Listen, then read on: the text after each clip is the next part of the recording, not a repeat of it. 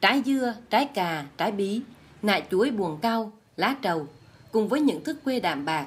Đó là những gì mà các cụ già thôn quê, miền núi có được, kiếm được để mang ra chợ, mang ra thị trấn ngồi bán. Đôi khi ngồi bán từ sáng tới chiều, chẳng được bao nhiêu đồng. Nhưng đó là nhịp sống lúc tuổi già bóng xế của các cụ. Nó chỉ được ít chút thì chỉ cơm buổi trưa ấy thì là trưa với tối thì có ngày thì ăn rau muối, có ngày thì kiếm được tí thức ăn. Thế thôi. Từ 6 giờ thì đến 6 giờ tối thì về. Về thu nhập thì chỉ bán cái quả cà này chứ không đáng bao nhiêu đâu. Cà quả chuối. Về quả chuối chăn mà. Khoảng ngày chỉ được vài ba chục thôi. Ở tuổi già hơn 80, ngoài 90 như cụ tọa và cụ nhự, việc đi tìm từng buồng cao, mớ cà, nại chuối trong các bạn làng để mang về nhà ngồi chọn lựa, loại bỏ những trái bị hư hỏng rồi rửa sạch. Sáng hôm sau, thức dậy lúc 5 giờ, ăn uống qua loa, lại đi bộ vài ba cây số đến chợ, lên thị trấn ngồi bán từ 6 giờ sáng.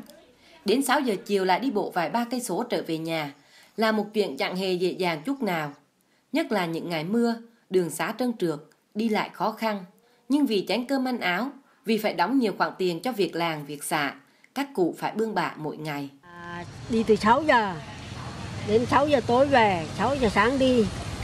Bán thu nhập thì chỉ được vài chục thôi. Chưa thì ăn cơm rau muối thì thỉnh thoảng có tí tí tươi tươi.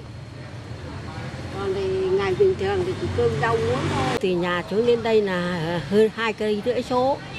Mà coi như là ở nhà thì các cháu nó xây dựng gia đình nó ở riêng hết rồi. Còn có mỗi một mình ở thôi.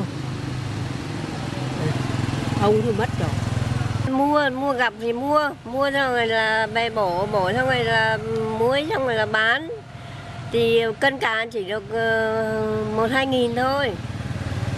Thế xong rồi bổ muối bán túm thì được ờ, vài ba nghìn một ờ, túm.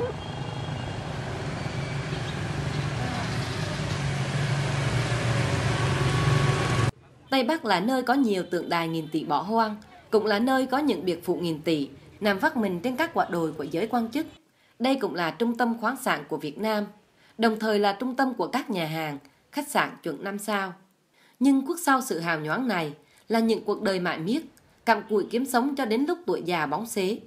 Và họ chỉ có mỗi ước mơ, rằng làm sao để có cái gì đó trong bụng mỗi tối, để nhờ đêm hôm có chết đi thì không làm ma chết đói, con cháu còn giữ được phước báo mà làm ăn, mà không nghèo khổ như cuộc đời của họ.